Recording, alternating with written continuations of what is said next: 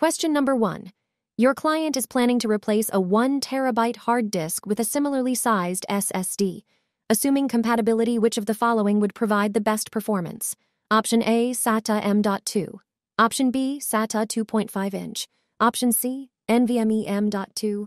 Option D, NVMe 2.5 inch. Zero one answer. Option C, NVMe M.2. NVMe, Non-Volatile Memory Express, is a high-performance storage interface protocol designed specifically for solid-state drives, SSDs. It offers significantly faster data transfer speeds compared to the traditional SATA serial ATA interface, which is commonly used with hard disk drives, HDDs, and older SSDs. M2 is a form factor that allows for a compact and direct connection to the motherboard without the need for cables. It is available in both SATA and NVMe variants. While both SATA M.2 and NVMe M.2 can provide faster speeds than their respective 2.5 inch counterparts, NVMe M.2 is the superior choice in terms of performance. NVMe M.2 SDs typically utilize PCIe Peripheral Component Interconnect Express lanes for data transfer, resulting in significantly higher speeds compared to SATA based SSDs. Therefore, if your client is looking for the best performance, they should choose option C, NVMe M.2. Question number two. Configure a RAID array with 3 of 16 terabytes drives with these characteristics. Data remains available if a single drive fails. Most efficient use of drive space. Fastest access time. Total storage size is not a priority. 02 answer. To meet the specified characteristics of data availability, efficient use of drive space, fastest access time, and with total storage size not being a priority, the best RAID configuration for 316 TB drives would be RAID 5. RAID 5 offers fault tolerance by distributing parity information across all drives in the array.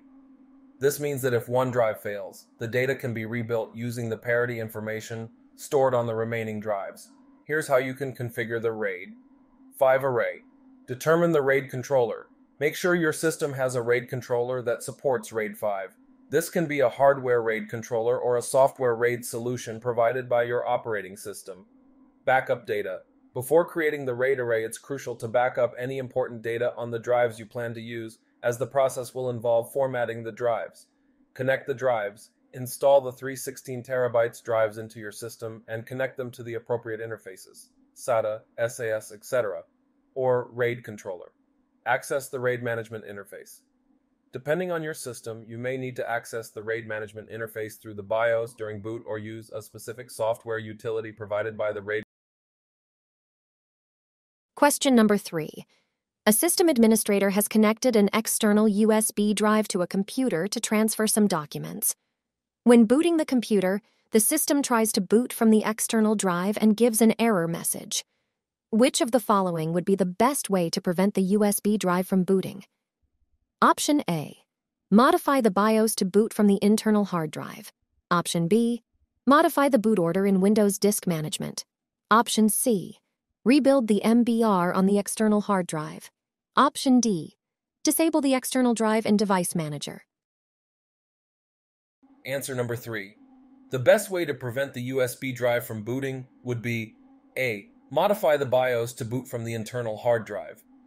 In the BIOS settings, you can change the boot order to prioritize the internal hard drive over the external USB drive. By doing so, the computer will attempt to boot from the internal hard drive first and if there is a valid operating system on it, it will boot successfully without encountering the error message related to the external drive. Options B, C, and D are not relevant for preventing the USB drive from booting. B. Modifying the boot order in Windows Disk Management is not the correct option, as changing the boot order should be done in the BIOS, not in Windows Disk Management. C. Rebuilding the MBR, Master Boot Record, on the external hard drive is not necessary in this scenario and can be risky. It might not even prevent the USB drive from attempting to boot. D. Disabling the external drive in Device Manager may prevent the external drive from being recognized by the operating system, but it won't prevent the system from attempting to boot from it during the boot process. this option is not ideal for preventing the USB drive from booting. Question number four Which one is not an interface type used for internal storage devices on newer systems? Option A, IDE. Option B, SATA. Option C, M.2. Option D, serial. Number four answer. Among the options provided, serial is not an interface type used for internal storage devices on newer systems. These are the valid interface types in the order they have invented to support internal storage devices. A. IDE, Integrated Drive Electronics, an older interface type that was commonly used for connecting internal storage devices like hard drives and optical drives.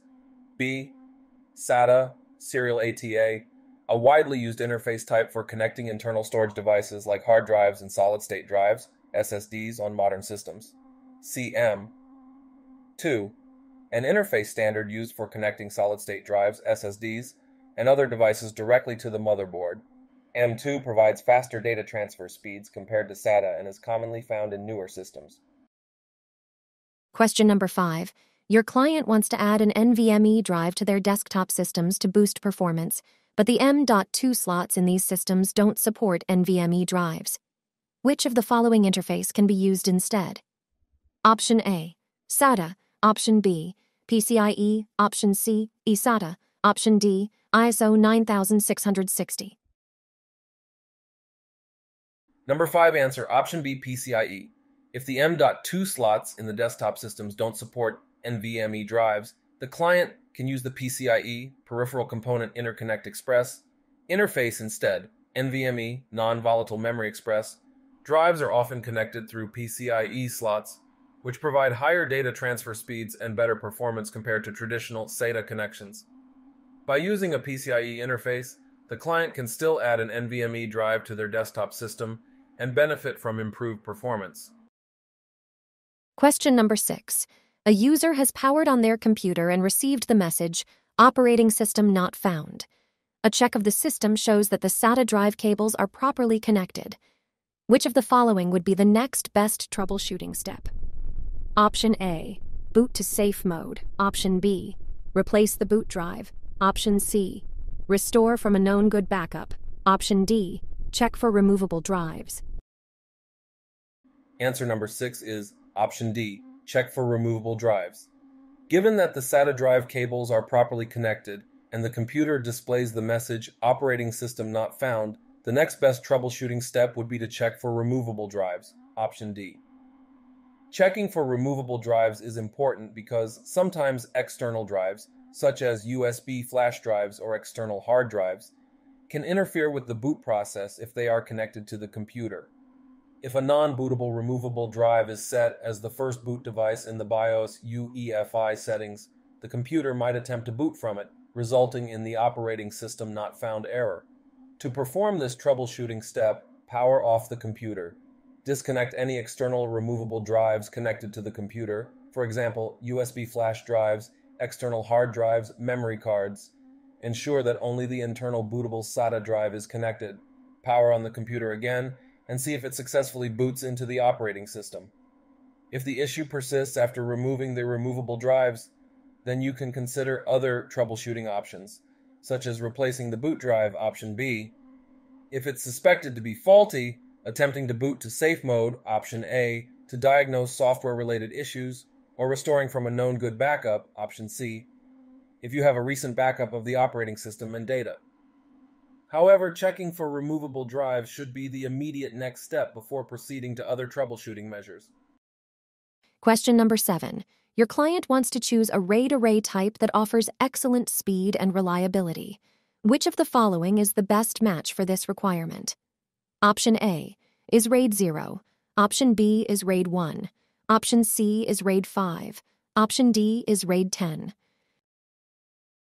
07 answer for the client's requirement of excellent speed and reliability, the best RAID array type would be RAID 10. RAID 10, also known as RAID 1 plus 0, combines the features of RAID 1, mirroring, and RAID 0, striping.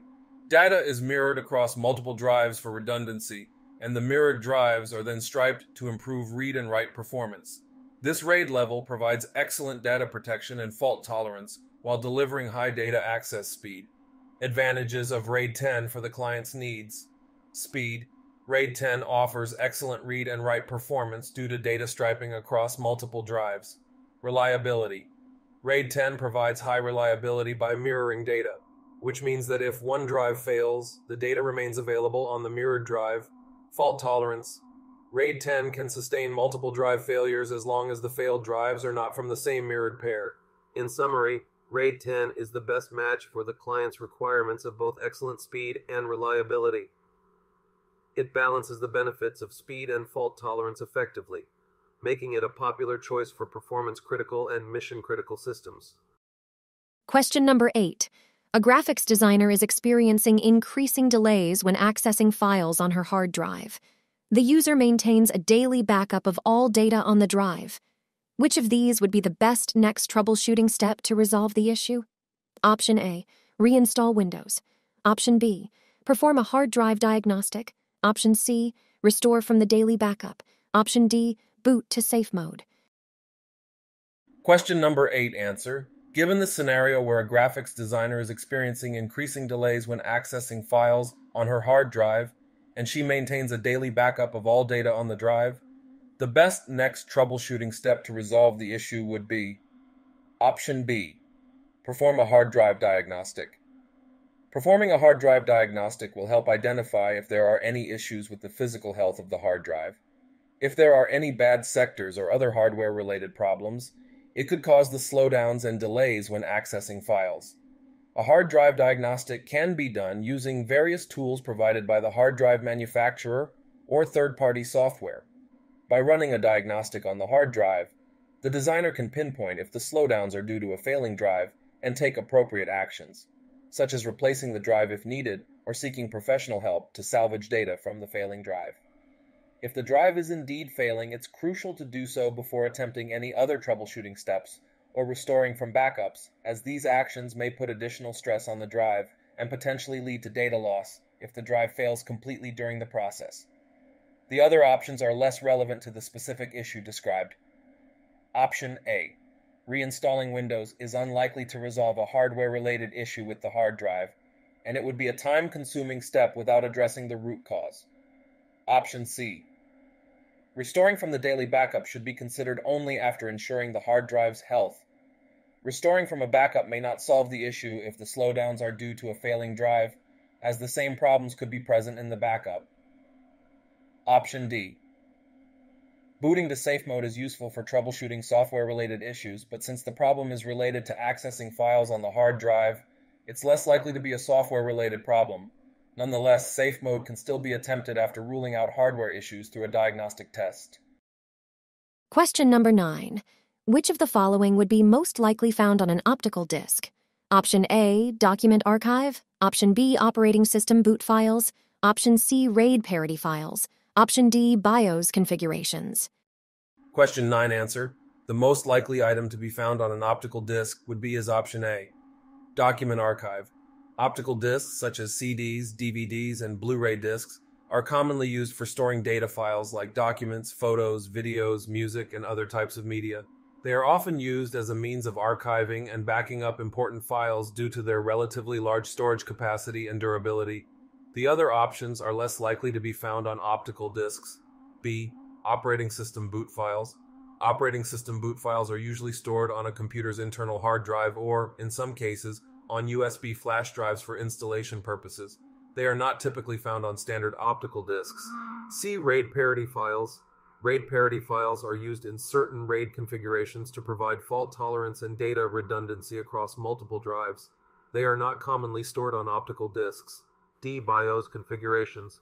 BIOS configurations are settings that control the basic hardware and system settings of a computer. They are stored in the computer's non volatile memory, CMOS, and are not related to optical discs. Question number 10. Your client accidentally purchased a micro SD card for their digital camera instead of an SD card. Which one is the best way to use the card? Option A. Buy a new camera that uses micro SD cards. Option B. Copy the data from an existing card to the new card. Option C. Return the card to the store for the correct type. Option D. Use an adapter with the card. Question number 10 answer. The best way to use the micro SD card in the digital camera is option D, which is to use an adapter with the card. A micro SD card can be used in devices that accept SD cards by using a micro SD to SD card adapter. These adapters are readily available and can be used to convert the micro SD card into the standard SD card size, allowing it to fit into the digital camera's SD card slot. Options A and B might be unnecessary or costly solutions. Option A involves purchasing a new camera just to use the microSD card, which is not practical. Option B could work if you have another SD card and wish to copy the data, but it's not a direct solution to using the microSD card in the digital camera. Option C, returning the card to the store for the correct type, could be a viable solution if the store allows returns or exchanges. However, using an adapter, option D, is often the most convenient and cost-effective solution as it allows you to use the micro SD card with your existing camera without any additional expenses. Question number 11. When a user starts their computer, the screen remains blank and the computer beeps twice. Which of these would be the most likely cause of this issue? Option A. The memory is faulty. Option B. The boot device is not connected. Option C. The operating system has become corrupted. Option D. The PC is infected with malware. Question number 11 answer is option A, which means the memory is faulty. When a computer starts up and the screen remains blank while the computer emits a specific pattern of beeps, in this case, two beeps, it often indicates a hardware issue. Two beeps commonly suggest a memory problem. Faulty or improperly seated RAM modules can lead to this kind of behavior where the computer fails to start properly and the screen remains blank. Reseating or replacing the RAM modules might be necessary to resolve the issue. Question number 12. A technician is connecting a laptop to an LCD projector in a conference room. The display on the laptop works properly, but the projector image is constantly flickering and pixelating. The technician has modified the resolution and refresh rates, but the projector image continues to flicker. Which of the following would be the best next troubleshooting step? Option A Replace the video cable. Option B, disable the laptop display. Option C, replace the projector bulb. Option D, power cycle the projector. Question number 12 answer. Option A, replace the video cable. Flickering and pixelation issues in a projector image, even after adjusting the laptop's resolution and refresh rates, can often be attributed to problems with the video cable. Poor quality or damaged cables can cause signal instability, resulting in a flickering and pixelated image on the projector screen. Before considering other steps, it's recommended to try a different video cable or a known working cable to see if the issue persists. If the problem is indeed with the cable, replacing it should resolve the flickering and pixelation problem. Question number 13. You have been tasked with reviewing motherboard form factors for a project. The number one requirement is that the motherboard be as small as possible. Which is the smallest motherboard form? Option A is Mini ATX, Option B is Micro ATX, Option C is ATX, Option D is ITX. Answer number 13. The Mini ITX form factor is generally considered to be the smallest commonly used motherboard form factor. It measures 6.7 by 6.7 inches, 17 centimeters by 17 centimeters, and is designed to provide a compact solution while still offering most of the essential features of a larger motherboard. Question number 14. The stylus on a Windows tablet will no longer interact with the user interface. Which of these would be the most likely cause of this issue? Option A, contrast option B, inverter option C, backlight option D, digitizer. Answer number 14. The most likely cause of the stylus on a Windows tablet no longer interacting with the user interface would be an issue with the digitizer. A digitizer is a hardware component responsible for translating the input from the stylus, or touch, into digital signals that the device's operating system can interpret. If the digitizer is malfunctioning, the device will not be able to accurately register stylus inputs, leading to the issue described. The other options mentioned, such as contrast, inverter, and backlight, are not directly related to the functionality of the stylus interacting with the user interface contrast inverter, and backlight are typically related to display issues, while the digitizer is specifically responsible for touch and stylus input functionality. Question number 15. Your client has selected PCI IE version 3.0 graphics cards to refresh the organization's video editing workstations. However, the systems support PCIe version 2.0. Which of the following statements is true? Option A is the cards will run at PCIe 3.0 speeds. Option B is the cards cannot be used.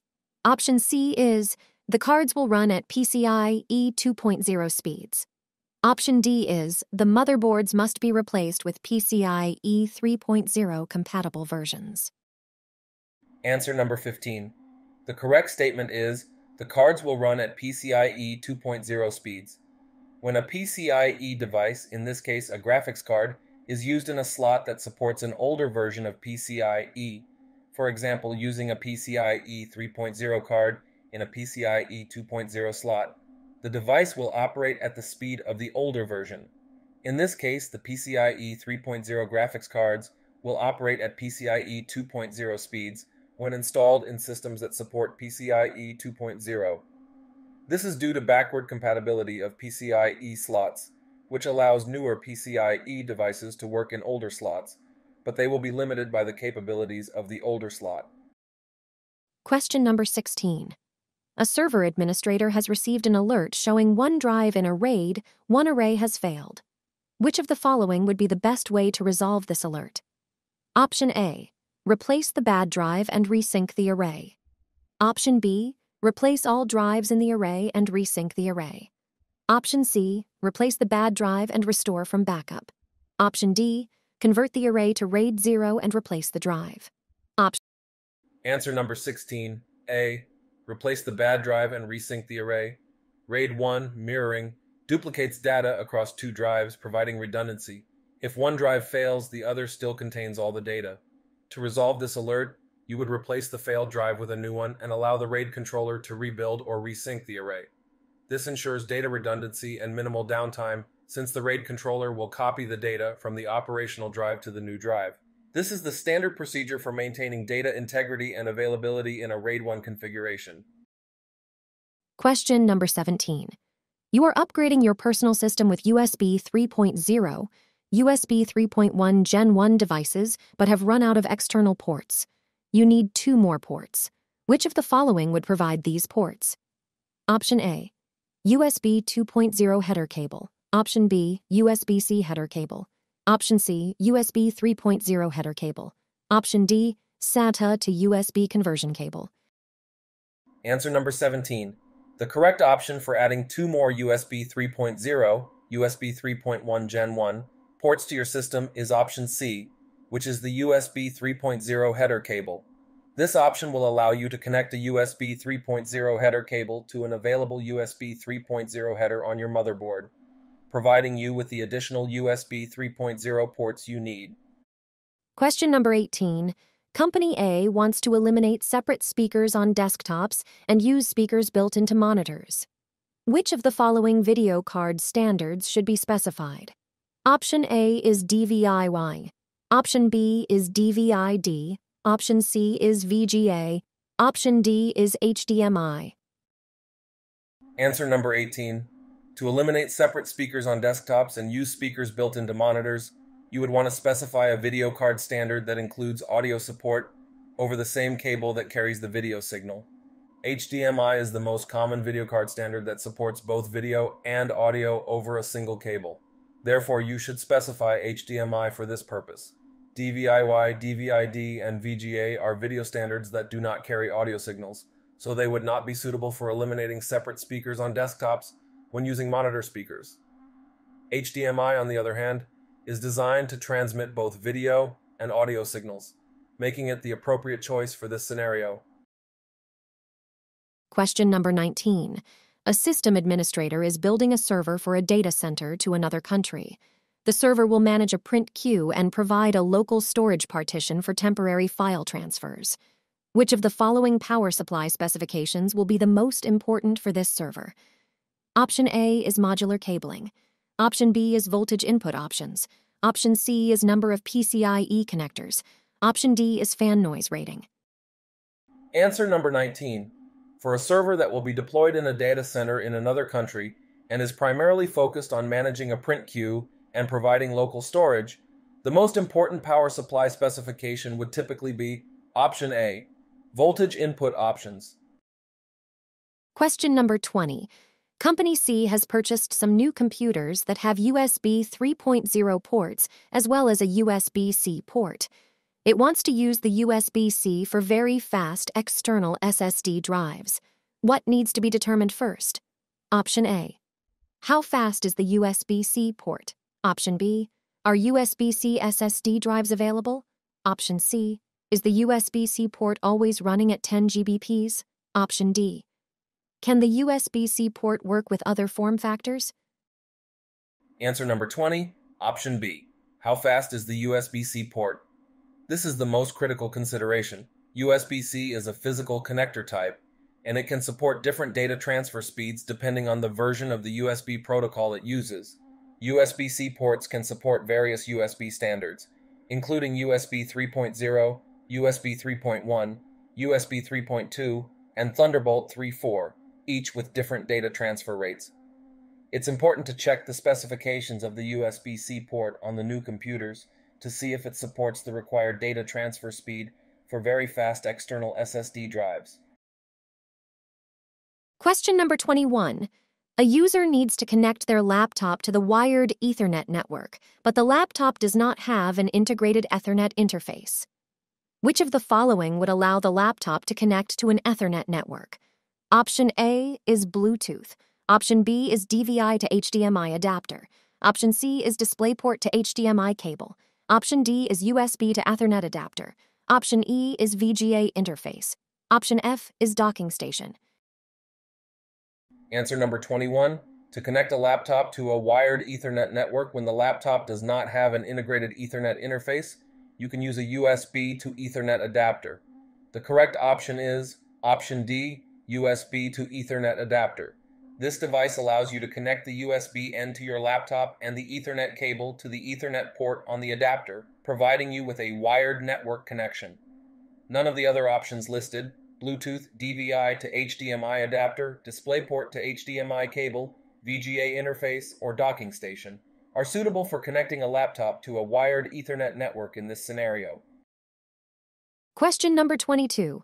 Company D wants to run coaxial cable in its offices for use with HDTV. Which of the following cable types should the company specify? Option A, RG59. Option B, RG6. Option C, STP, CAT5. Option D, STP CAT6. Answer number 22. For HDTV installations, including cable television and other video applications, the company should specify RG6 coaxial cable. RG6 is a common and widely used coaxial cable type that is suitable for high frequency signals, like those required for HDTV. It provides good signal quality and is designed to handle the higher bandwidths needed for HDTV transmissions. RG6 cables are available with various connectors, including F type connectors commonly used for cable TV and satellite connections. Question number 23. Which of these technologies do not require a backlight to provide a viewable display? Option A, LCD, Option B, IPS, Option C, OLED, Option D, LED. Answer number 23. Among the technologies listed, OLED, organic light emitting diode displays do not require a backlight to provide a viewable display. Here's a brief explanation for each. A, LCD, liquid crystal display requires a backlight to illuminate the liquid crystals and make the display visible. B. IPS, in-plane switching.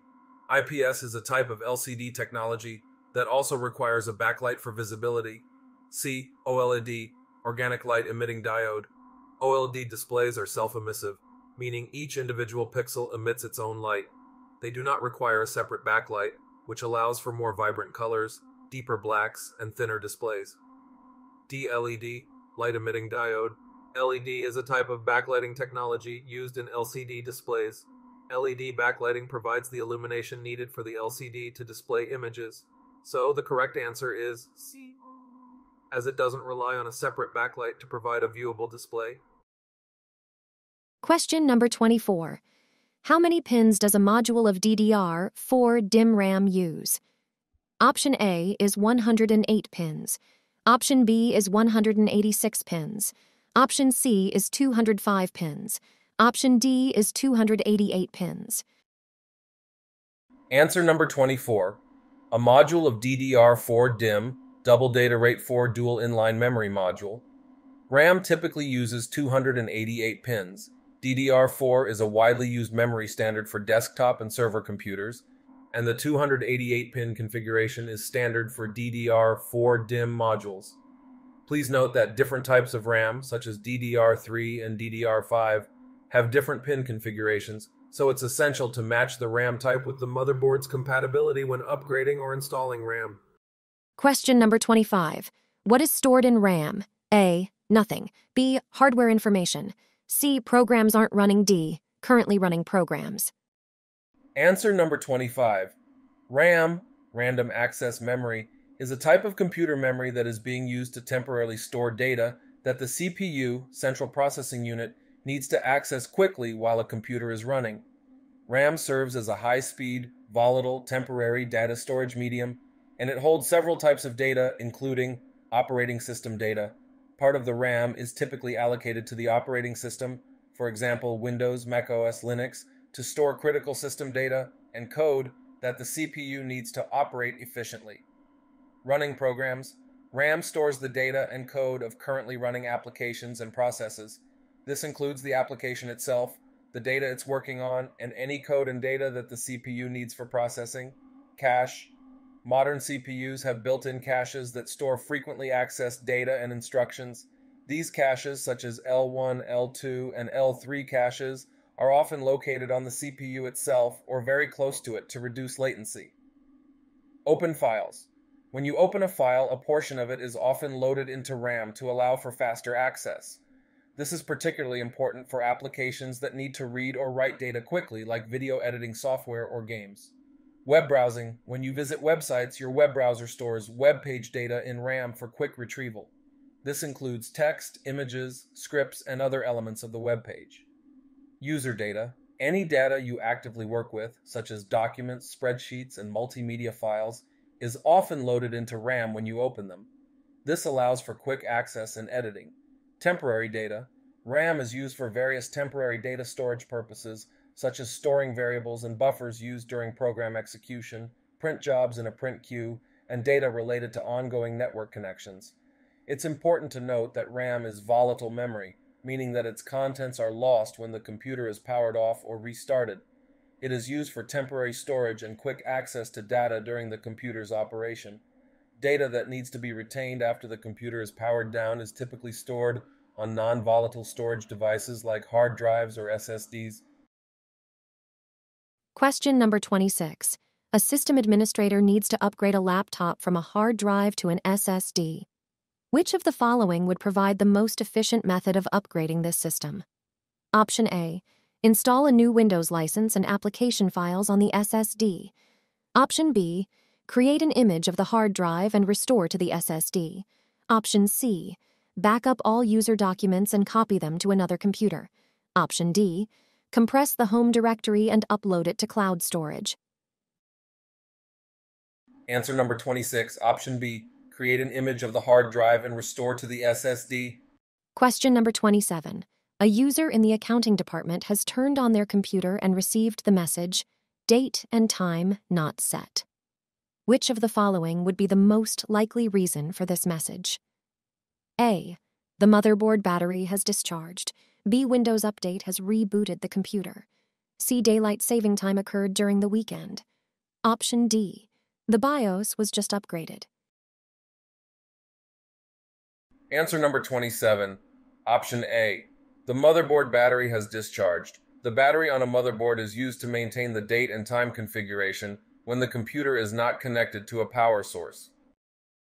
Question number 28. A user in the accounting department is connecting to their monitor using HDMI. The video appears normal, but the user does not hear any audio through the monitor's speakers. Which of the following would be the two most likely reasons for this audio issue?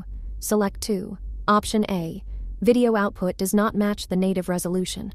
Option B. Audio controls are muted. Option C. Not enough bandwidth for audio. Option D. Internet connectivity is unavailable. Option E. OS is not configured for HDMI audio output. Option F. Display has a dead pixel. Answer number 28. Option B. Audio controls are muted, and option E. OS is not configured for HDMI audio output are both can be a cause. Question number 29. How many DIMM cards are required to achieve a 256 pin architecture? 1, 2, 3, or 4? Answer number 29. Quad channel memory with four DIMMs creates a 256 bit memory architecture. Question number 30. When pressing the power button on a desktop computer, the power indicator lights up, but the computer does not display any message on the screen. The voltage at the wall outlet has been checked and it appears to be normal. The motherboard power connector voltage was checked, and the 12 volt pin was showing 6 volts. What is the most likely cause of this issue? Option A. The components that use 12 volt power are faulty. Option B. The power supply is faulty. Option C. The wall outlet voltage does not match the power supply. Option D. The motherboard is faulty. Answer number 30. The most likely cause of this issue based on the information provided is B. The power supply is faulty. If the motherboard power connector is only showing 6 volts on the 12 volt pin, it indicates that the power supply is not providing the correct voltage to the motherboard and other components. This can result in the computer not booting up properly and not displaying any message on the screen. Therefore, the power supply is the most likely culprit in this scenario. Question number 31. Not really hardware, but a good one. A system administrator has received a report of customers receiving email messages from the company, but upon further analysis, the administrator finds the messages were not actually sent by the corporation. Which of the following should be implemented to prevent these spoofed email messages? A. Change the passwords on all email accounts. B. Add multi factor authentication to all email logins. C. Configure an SPF record in the DNSD. Modify the firewall rules to prevent outgoing emails. Answer number 31. The answer C. Configure an SPF record in the DNS. An SPF, Sender Policy Framework, Record in the DNS, domain name system, server provides a list of all servers authorized to send emails for a domain. Any emails not originating from an authorized source can be dismissed as unauthorized or invalid. Question number 32. A system administrator has configured a VM for dual processors, 16 GB of RAM, and 120 GB of disk space. Which of the following is required to start this VM? Option A, shared network address. Option B, hypervisor. Option C, virtual switch. Option D, video display. Answer number 32. Option B, hypervisor. To start a virtual machine VM configured with dual processors, 16 GB of RAM, and 120 GB of disk space, you need a hypervisor. A hypervisor is a software or hardware component that allows you to create and manage virtual machines. It provides the virtualization environment in which VMs can run allocate resources like CPU, memory, and storage to VMs, and manage their operations. The other options mentioned, shared network address, virtual switch, and video display, are relevant for VM operation and connectivity, but are not the primary requirement for starting a VM. Question number 33. You are adding to a dual channel system that has one 8 gigabyte module to upgrade to 16 gigabyte. Which one of the following you need to confirm before you buy more RAM? Option A, the brand of the current RAM module. Option B, the speed of the current RAM module. Option C, the type of current RAM module. Option D, all of the above. Answer number 33, option D, all of the above. Question number 34. A desktop computer has just abruptly shut off, and pressing the power button doesn't restart the system. There are no fans spinning, no lights are on, and no messages appear on the display. Which of these would be the most likely cause of this issue? Option A. The boot sector is missing. Option B. The master boot record is corrupted. Option C. The BIOS is configured with a startup password. Option D. The power supply is faulty. Option E. The LCD display backlight has failed.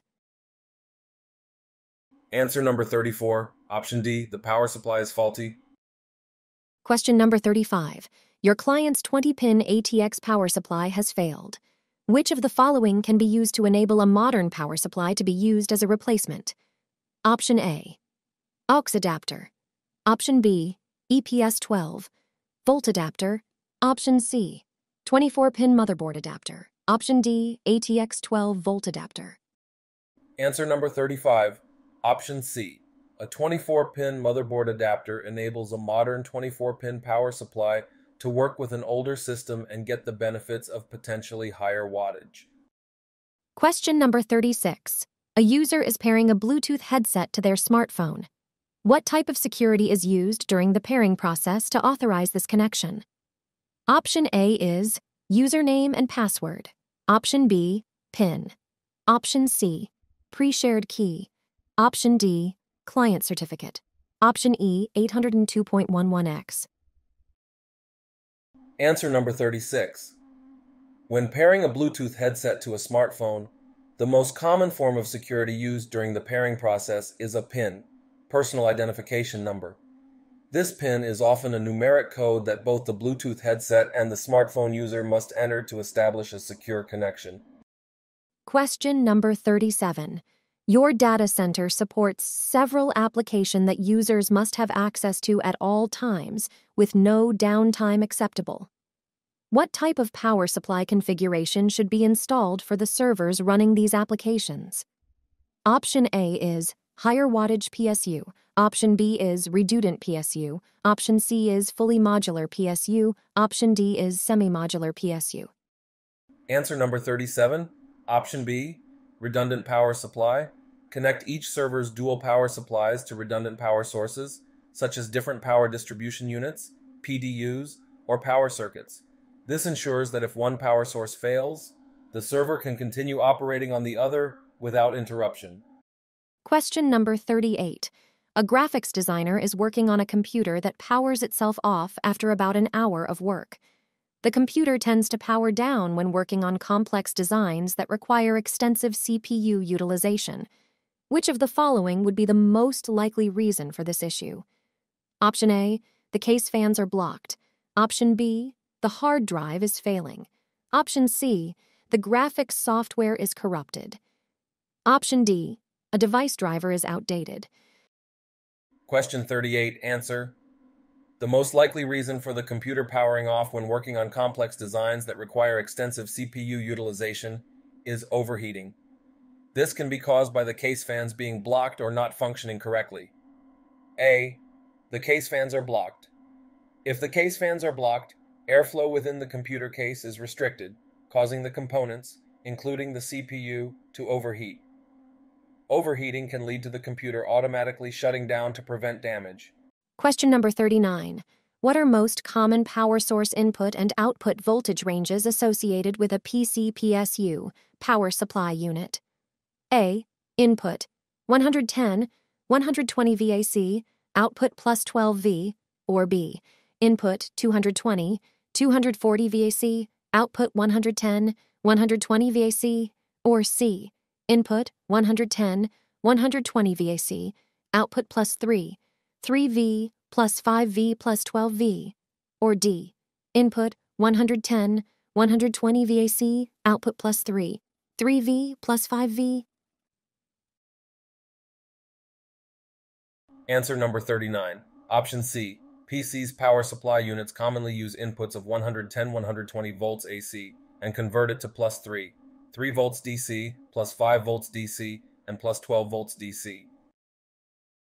Question number 40 Cloud. A company is deploying cloud hosted virtual desktops for training room classes. The VMs have already been configured in the cloud. Which of the following is required to access these VMs using thin clients in the training room? Option A, Category 6, A cabling. Option B, mouse, keyboard, and monitor. Option C, separate internet connection. Option D, high end video cards. Answer number 40. To access cloud hosted virtual desktops using thin clients in a training room, you typically need option B is the mouse, keyboard, and monitor. Thin clients are minimalistic devices designed to connect to remote virtual desktops or servers. They don't have the computing power or storage of a traditional computer. Therefore, to use these thin clients effectively, you'll need the basic peripherals such as a mouse, keyboard, and monitor to interact with the virtual desktops in the cloud. Question number 41. A network administrator is deploying a firewall to the cloud using an API to configure the device. Which of the following would best describe this deployment type? VPN, DKIM, LDAP, IaaS, SDN. Answer number 41. The option D, SDN, SDN, software defined networking, allows the functions of a networking device to be split into logical units and virtualized into a software based deployment instead of hardware. This allows for easy deployment of switches, routers, firewalls, and other networking devices into a cloud based infrastructure. Question number 42.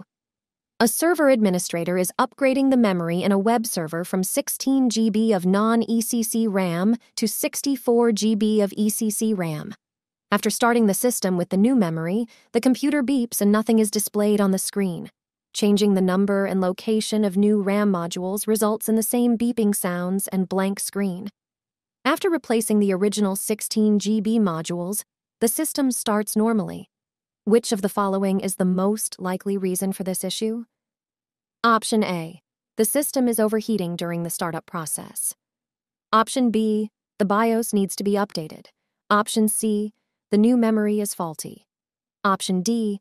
The new memory is not compatible with the motherboard.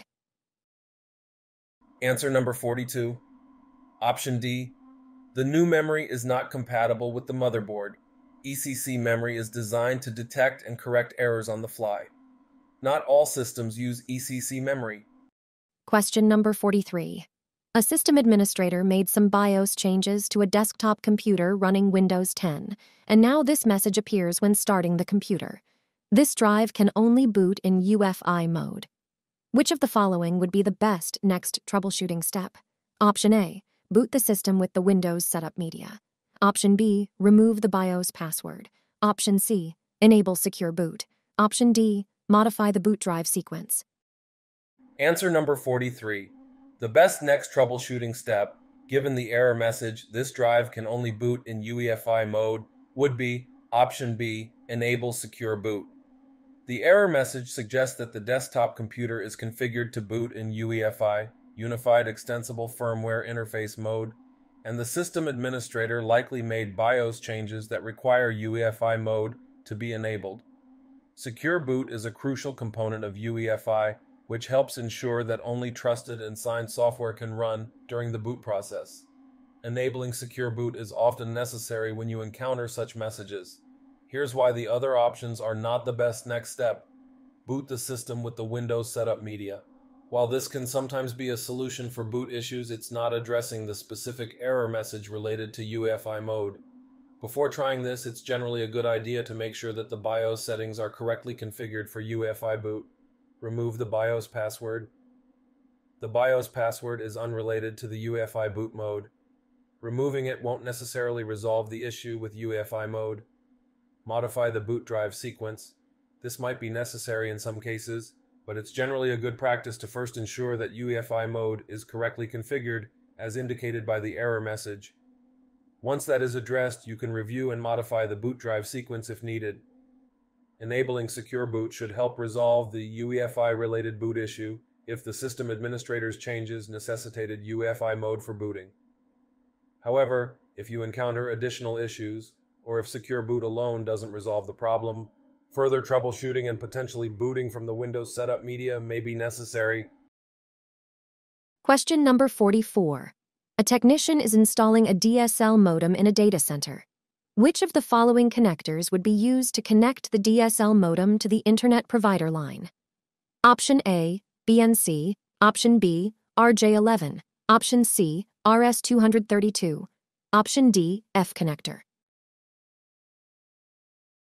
Answer number 44. The connector typically used to connect a DSL modem to the internet provider line is Option B. Connector RJ11. RJ11 connectors are commonly used for telephone lines, including DSL, digital subscriber line connections. which use existing telephone lines for broadband internet access. These connectors are designed to fit standard phone jacks and provide the necessary interface between the DSL modem and the telephone line to establish an internet connection. Question number 45. Into which socket could you place an AMD Ryzen Threadripper CPU? Option A, socket LGA 1200. Option B, socket LGA 1700. Option C, socket TR4. Option D, socket AM4. Answer number 45. You can place an AMD Ryzen Threadripper CPU into Option C, socket TR4. Socket TR4 is the socket designed for AMD Ryzen Threadripper processors. This socket is specific to the Threadripper series and is not compatible with other AMD CPUs like those designed for socket AM4, option D, or Intel CPUs like those designed for socket LGA 1200, option A, or socket LGA 1700, option B. Question number 46. Which CPU feature enables the microprocessor to support running multiple operating systems at the same time? Option A, virtualization support. Option B, caching. Option C, pipelining. Option D, clock multiplying. Answer 46 Virtualization support. Question 47. Mike has a motherboard that advertises support for x64 processors. Which CPU will definitely work in that motherboard? AMD Ryzen, Intel Core i3, Intel Core i7. There's not enough information to answer the question. Answer number 47, option D. There's not enough information to answer the question. Question number 48. What improvement have CPU manufacturers put into processors to deal with pipeline stalls? Option A, added multiple pipelines. Option B, increased the speed of the SRAM. Option C, created new die sizes with more pins. Option D, bundled better fans with their retail CPUs. Answer number 48. To address pipeline stalls and improve processor performance, CPU manufacturers have primarily implemented the following improvement. Option A added multiple pipelines. Modern CPUs typically use multiple pipelines with various stages to execute instructions more efficiently and in parallel. These pipelines help reduce the impact of pipeline stalls by allowing the CPU to work on multiple instructions simultaneously. Multiple pipelines are a fundamental feature of modern processor architectures and play a crucial role in improving overall CPU performance. Options B, C, and D are not directly related to addressing pipeline stalls. B. Increasing the speed of SRAM, static random access memory, can enhance memory access and caching performance but doesn't directly address pipeline stalls. C. Creating new die sizes with more pins is primarily related to the physical packaging and connectivity of a CPU and does not directly impact how pipeline stalls are handled. D. Bundling better fans with retail CPUs is related to cooling solutions and user experience but does not address pipeline stalls, which are a feature of the CPU's internal architecture and design. Question number 49. John has installed a new CPU in a client's computer, but nothing happens when he pushes the power button on the case. The LED on the motherboard is lit up so he knows the system has power. What could the problem be? Option A. He forgot to disconnect the CPU fan. Option B. He forgot to apply thermal paste between the CPU and the heatsink and fan assembly. Option C. He used an AMD CPU in an Intel motherboard. Option D. He used an Intel CPU in an AMD motherboard. Answer number 49. Based on the information provided, the problem could be B. He forgot to apply thermal paste between the CPU and the heatsink and fan assembly. When a CPU is installed or replaced, it's crucial to apply thermal paste between the CPU and the heatsink to ensure proper heat transfer and cooling. If thermal paste is not applied or is improperly applied, the CPU can overheat quickly, and the system may fail to boot as a safety measure to prevent damage. This can result in a situation where the LED on the motherboard is lit up, indicating power, but the computer doesn't start. Options A, C, and D are less likely to be the problem in this scenario. A. Forgetting to disconnect the CPU fan might result in the CPU fan not spinning or generating an error message related to fan speed, but it typically wouldn't prevent the system from powering on. C. Using an AMD CPU in an Intel motherboard, or D, Using an Intel CPU in an AMD motherboard would likely result in an incompatible CPU socket or chipset issue, but it usually wouldn't cause a complete lack of power or response like what's described in the scenario. The absence or improper application of thermal paste is a common issue that can lead to overheating, which in turn can cause the system to fail to boot or power on briefly before shutting down. Question number 50. A client calls to complain that his computer starts up, but crashes when Windows starts to load. After a brief set of questions, you find out that his nephew upgraded his RAM for him over the weekend and couldn't get the computer to work right afterward. What could be the problem? Option A thermal paste degradation. Option B disconnected CPU fan. Option C bad CPU cache. Option D there's nothing wrong. It usually takes a couple of days for RAM to acclimate to the new system. Answer number 50. The most likely problem in this scenario is option B disconnected CPU fan. If the client's nephew upgraded the RAM and couldn't get the computer to work properly afterward, it's possible that during the RAM installation process, the CPU fan or another component may have been inadvertently disconnected or improperly reconnected. If the CPU fan is not functioning correctly or not connected, the CPU can overheat when Windows starts to load, causing the computer to crash as a safety measure to prevent damage. The other options mentioned are less likely to be the problem. A. Thermal paste degradation typically occurs over an extended period and doesn't usually manifest immediately after a RAM upgrade. See bad CPU cache or CPU related issues are possible but less common causes of a startup crash compared to a disconnected or malfunctioning CPU fan. D. There is no known phenomenon where RAM takes a couple of days to acclimate to a new system. RAM should work correctly as soon as it's properly installed and the system is powered on. Question number 51. What steps do you need to take to install a Core i5 CPU into an FM2 Plus motherboard? Option A. Lift the ZIF socket arm, place the CPU according to the orientation markings, snap on the heatsink and fan assembly. Option B. Lift the ZIF socket arm, place the CPU according to the orientation markings, add a dash of thermal paste, snap on the heatsink and fan assembly. Option C. Lift the ZIF socket arm, Place the CPU according to the orientation markings, snap on the heatsink and fan assembly, plug in the fan. Option D. Take all of the steps you want to take because it's not going to work. Answer number 51. None of the provided options are correct for installing a Core i5 CPU into an FM 2 Plus motherboard.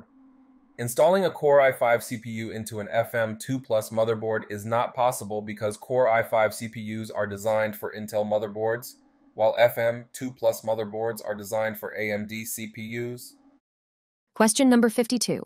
How might an NMI manifest on a Windows system? Option A, blue screen of death. Option B, spinning pinwheel of death. Option C, interrupt of death. Option D, NMIs only happen on macOS systems. Answer number 52. NMI, non maskable interrupt, is a hardware interrupt that cannot be ignored or disabled by standard interrupt masking techniques. On a Windows system, an NMI does not typically manifest as a specific visual indicator like the blue screen of death, option A, or the spinning pinwheel of death, option B. In the context of Windows systems, if an NMI occurs, it would not result in a visible error message or a specific graphical indication. Instead, NMIs are usually handled at a low level by the hardware and operating system kernel. They are often used for critical hardware errors and other hardware related issues that require immediate attention. So, none of the options provided accurately describe how an NMI might manifest on a Windows system. Thank you for your attention if you made it this long. Uh, this is almost an hour long video, and this was 52 questions and answers. I'm thinking about to do maybe another 50. I'm just asking for your help to, you know, for the thumbs up and the subscription as usual.